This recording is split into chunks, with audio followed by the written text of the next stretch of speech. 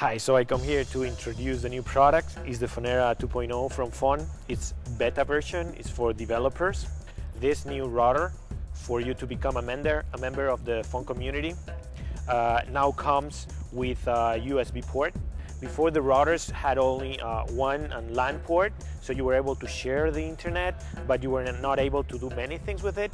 So this USB here allows you to do a lot of the Web 2.0 stuff that we are used to do with computers. Basically, you can put here uh, message storage devices like flash memories or I think with your videos, with your pictures, with anything. And the device is going to help you upload these things into your favorite sites for Web 2.0 for, uh, for sharing with communities.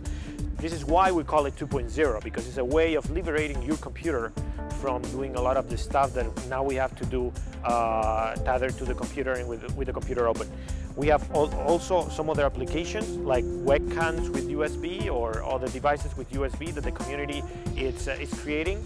And that's the cool thing about this device, that because we work with communities, they develop a lot of stuff that can run on top of it and uh, let do things, let you do things that before with a router you were not able to do because they were only done on PCs.